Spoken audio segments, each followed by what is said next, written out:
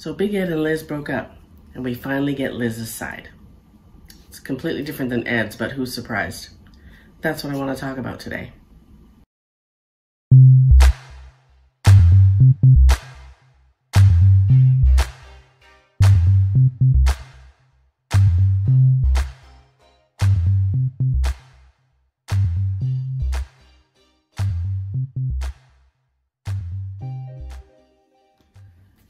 So on 90 Day The Single Life, Ed and Liz went to Vegas uh, so that Liz could meet Ed's daughter, Tiffany. They went to a bar and Liz overheard Tiffany and her friends um, nasty talking Ed or her and Ed. And so Liz left, decided to go back to the hotel after Ed was pushing, pushing, pushing, pushing her to figure out, to find out what was wrong. And she didn't want to talk about it in public. So she goes back to the hotel. They both go back to the hotel. And as Ed has told us, she called the airline, booked a ticket and left. But that is not what Liz's side of the story says. Liz says, okay, so on her social media, you know, whenever someone posts something about, you know, that sounds random, seems like it's about, you know, a narcissist or whatever, it sounds like it's directed at someone, it's always directed at someone, especially with these um, reality TV people, it's always directed at someone. Anyways, on Liz's social media, she posted something that says, and I'll post it here. It says, at the beginning of the relationship, the narcissist will get to know you very well. Mmm, preach. He'll want to know everything about you, your likes, your dreams, your hopes, but more importantly, your fears, your hurts, your embarrassing secrets, and the things you would give your life to protect. He's so easy to talk to. In fact, you've never met anyone like him in your life. You truly open up to him and share everything, but then when the mask slips, you realize that he uses those things against you. So she posted that first. And then she tells us what actually happened in Vegas and how she actually left. She says, I left Ed's ass in Vegas because Tiffany's friend was so rude making the comments and Tiffany pried it into it. I didn't want it to affect Ed's night because it, he was oblivious to it and I kept quiet. For him, I tried to be the bigger person.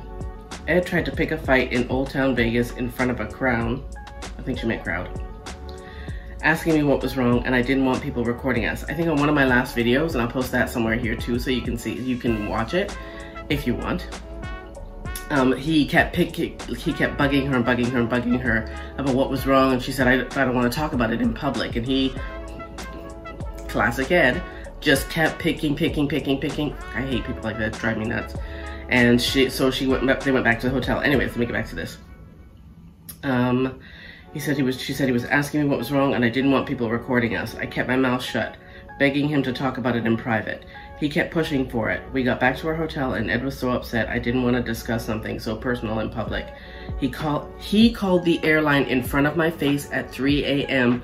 to book a ticket home, trying to leave me in Vegas. He left the room to finish the call and I didn't know he didn't go through with it. Me thinking he went through with it, I went online and booked a ticket myself. $400 later and me being a mom on a budget, I left. I'm not sorry for it. That little garden gnome tried to trick her into believing that he booked a ticket and was gonna leave her in Vegas. Seriously? Are we surprised though? I am glad that she dumped him. Very glad. About time. Don't know what she ever saw in him in the first place. We also have to remember that they don't see what we see. We know Ed because we saw who he was with Rose, and we saw him trying to date and all that. We know we, on the other side of the camera, know what kind of person Ed is. She didn't know what kind of person Ed was until she started dating him. I guess now she knows what kind of person Ed is. But yeah, that's the story. Ed, of course, tried to scare her into believing he was gonna leave her in Vegas and then turned around and said that she is the one who booked the ticket and left him in Vegas. Well, you know what, Ed? You reap what you sow. I'm glad she dumped your ass. Sorry. but I am glad she dumped his ass. That's all I got for Ed and Liz today. My name is Debbie. This is Sheality TV. I will see you next time. Peace.